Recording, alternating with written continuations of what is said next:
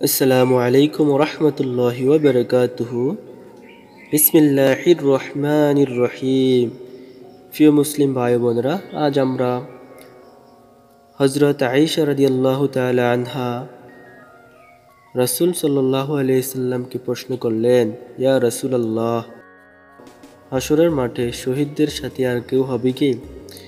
এই প্রশ্নের উত্তরটি জানব। তো ভিডিওটি শেষ পর্যন্ত দেখুন। চলুন শুরু করা যাক। হজরত আইসা রাদি আল্লাহ আনহা বলেন, ইয়া রাসুলাল্লাহ হাসুরের মাঠে শহীদদের সাথে আর কেউ হবে কি? রাসুল সাল্লাহ সাল্লাম বলেন, যে ব্যক্তি প্রতিদিন বিশ বার মৃত্যুর কথা স্মরণ করবে, তারাই হাসরের মাঠে শহীদদের সাথী হবে। সুবাহান আল্লাহ রাসুল সাল্লাহ আলাইসাল্লাম আরও বলেন, কোনো ওয়াজ বা উপদেশই চিন্তার সমতুল্য নয়।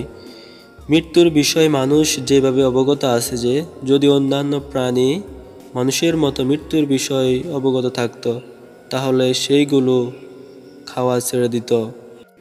আর আমরা মানুষ হয়ে দুনিয়াতে কত রং তামাশা করছি, আমাদের মধ্যে কোনো মৃত্যুর চিন্তাই নেই। আল্লাহ তালা কোরআন শরীফে বলেন, কুল্লু নফসিং জাইকাতুল মাউত অর্থাৎ প্রত্যেক প্রাণীকে মৃত্যুর স্বাদ গ্রহণ করতে হবে। এ আয়াত দ্বারা আমরা আমাদের নিজেদের মাঝে মৃত্যুর চিন্তার ভাব দ্বারা জাগাতে পারি।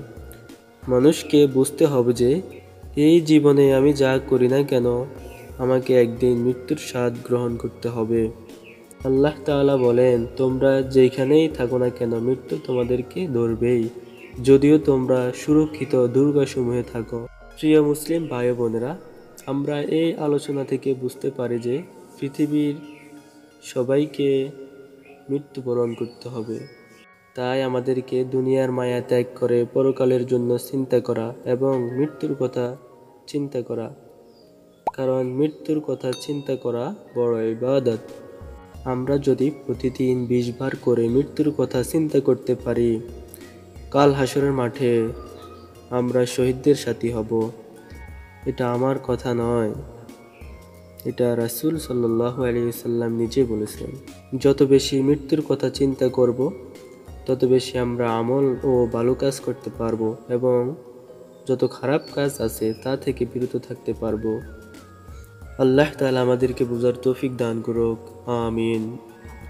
প্রিয় দিনী ভাই বোনেরা, এই ছিল আজকের ভিডিও। ভিডিওটি যদি ভালো লেগে থাকে তাহলে অবশ্যই একটি লাইক দিয়ে যাবেন এবং দিনই স্বার্থে ভিডিওটি আপনার মুসলিম ভাই বোনদের সাথে শেয়ার করে তাদেরকে জানার সুযোগ করে দিন।